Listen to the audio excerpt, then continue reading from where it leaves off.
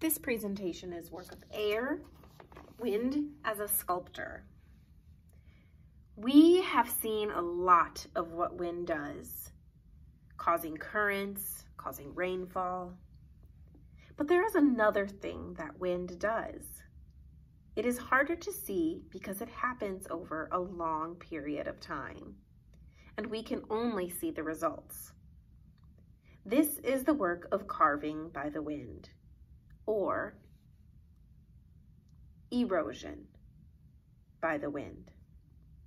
Have you ever walked onto a beach on a windy day and your legs are bare and you feel those little sand particles prickling against your bare legs because the wind has picked them up and thrown them at you? Well, the wind, as it blows, picks up these little bits of sand and pebbles and flings them about as they hit whatever is in their way. This is especially true in the desert or in places of the world that are very, very dry. Well, like our chart shows here, billions of sand particles hit and hit and hit against those rocks as they are blown and flung by the winds. Now, especially in dry areas over time, this is this constant blowing of sand particles wears away parts of the rock, especially attacking softer rock or softer types of rock like sandstone, the sedimentary rock. This sandblasting cuts away or sculpts at the rocks. It is actually carving the rocks in a way. And this is especially noticeable in dry areas.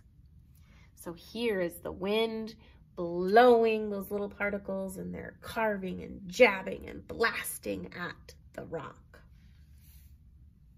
Well, it's like we see in these pictures. Right here, we have the wave rock in Australia. We know that this was wind that did this because the sand and pebbles got carried up so far, which is why you see this inward curve. This is a tree right here.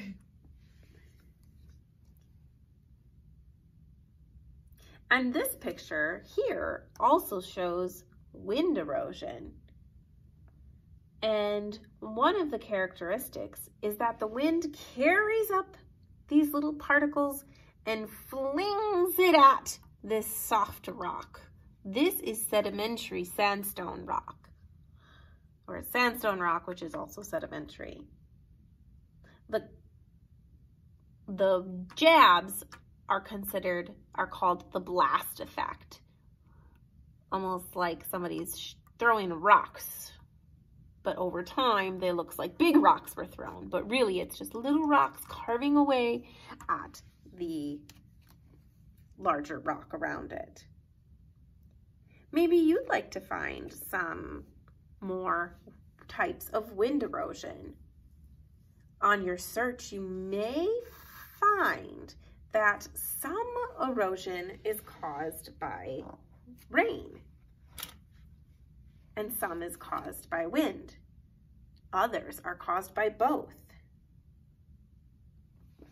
Well, this is our story for, this is my story. This is my, this is the presentation for today. Have fun researching wind erosion.